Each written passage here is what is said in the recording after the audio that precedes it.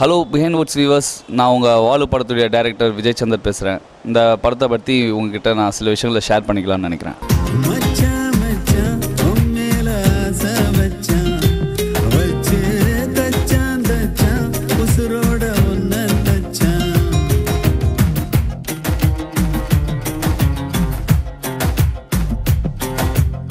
எங்கள் ஃபேமிலியில் வந்து யாருமே சினிமாவில் இல்லை. சினிமாலேருந்து வருதுன்னு யாரும் பார்த்தீங்கன்னா நான் மட்டும்தான். ஃபஸ்ட்டு அதனால் ரொம்ப கஷ்டப்பட்டு தான். ஒரு டுவெல் இயர்ஸ் ஆச்சு.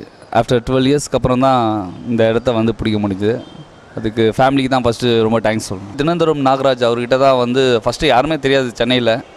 சென்னையில் போய் படத்தில் எப்படியாவது சேர்ந்து ஏதாவது ஒன்று பண்ணணுன்றதுக்காக லைலா காலேஜில் தான் நான் பி ஜாயின் பண்ணேன். காலேஜ் ஜாயின் பண்ண புதுசுலேருந்தே சினிமாவில் இப்போ ஏதாவது பண்ணணும்னு சொல்லிட்டு. அப்போ எஸ்ஜே சூர்யா சார்லாம் ஹாஸ்டலுக்கு அடிக்கடி வருவார் போவார். அதெல்லாம் பார்க்குறப்போ ரொம்ப இன்ட்ரெஸ்டிங்காக இருக்கும். ஸோ நான் நடந்தே ஏவிஎம் ஸ்டுடியோலாம் போயிருக்கேன். ஏன்னா பஸ்ஸில் போனால் கரெக்டான அட்ரஸ் கண்டுபிடிக்க முடியாதுன்னு சொல்லிட்டு நடந்தே போயெலாம் ஏவிஎம் ஸ்டுடியோவில் போய் அட்ரஸை நான் கேதர் பண்ணியிருக்கேன். அதுக்கப்புறமா ஒரு டூ த்ரீ இயர்ஸ்க்கு அப்புறமா தான் நிறைய இடத்துல போய் எல்லாமே டிஸ்கரேஜ் ஆகிட்டு அதுக்கப்புறமா தினதொரு நாகராஜ் கிட்டே போயிட்டு டைலாக் அஸ்டண்டாக அவர்கிட்ட தான் ஃபஸ்ட்டு நான் ஜாயின் பண்ணேன். அதுக்கப்புறம் டான்ஸ் மாஸ்டர் அம்மாராஸ் இருக்கார் அவர்கிட்ட அஸ்டண்டாக ஒர்க் பண்ணேன். சிந்தனை செய்கின்ற படத்தில் ஒர்க் பண்ணியிருக்கேன். ஸோ அந்த படத்துடைய எக்ஸ்பீரியன்ஸ் ப்ளஸ் டைலாக் வந்து நான் நாகராஜ் கூட இருந்தாலும் ஸ்க்ரீன் ப்ளே டைலாக் வந்து ரொம்ப ஸ்பெஷலாக இருக்கும். ஸோ அந்த அந்த ஒரு ஸ்க்ரீன் ப்ளே டைலாக் தான் இன்றைக்கி இந்த வாலு படத்தை எனக்கு கொடுத்துருக்கு.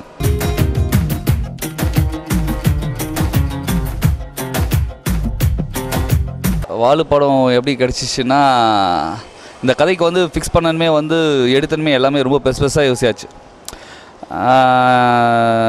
எல்லாருமே சொன்னாங்க முதல் படத்துக்கு வந்து ஏன் இவ்வளோ பெரிய ப பட்ஜெட்லலாம் யோசிக்கணும்?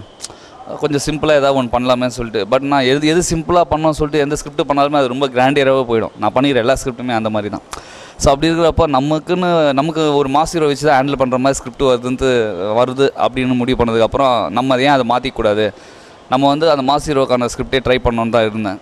ஸோ அப்படின்ற பட்சத்தை இந்த ஸ்கிரிப்ட்டுக்கு வாலு அப்படின்ற ஒரு டைட்டில்னா அது யாருன்னு யாரை கேட்டாலும் சொல்லுவாங்க. இந்த ஸ்கிரிப்ட் வாலு டைட்டிலுக்கு யார் இருப்பா அப்படின்னு யார் வேணால் கேட்டாலும் இது வந்து அது யங் சூப்பர் ஸ்டார் எஸ்டிஆர் தான் சொல்லுவாங்க. ஏன்னா அவர் வாளுன்னா வந்து துரு துருன்னு இருப்போம் ரொம்ப சுறுசுறுப்பான ஒரு ஆளை தான் வாளுன்னு சொல்லுவோம் ஸோ அவ்வளோ ஆக்டிவான ஒரு பர்சன் யாருன்னா அது அவர் தான்.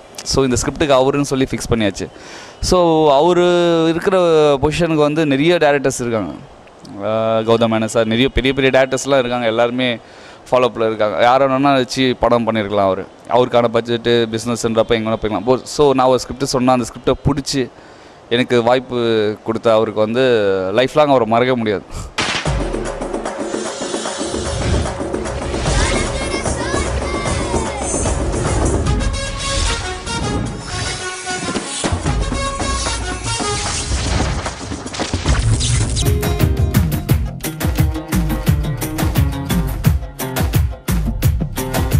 அவர் வந்து எதுக்குன்னு சொன்னால் டைலாக்ஸில் ஆல்ரெடி ரீச் ஆகிருக்கும் இந்த டைலாக்கை ஒரு சில பேர் பேசுகிறப்ப தான் அது வந்து ரொம்ப இன்ட்ரெஸ்டிங்காக இருக்கும்.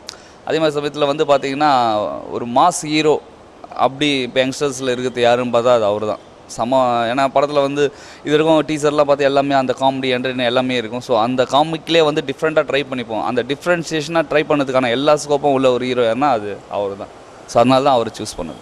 ஒரு சில பசங்களை பார்க்க பார்க்க தான் பிடிக்கும்.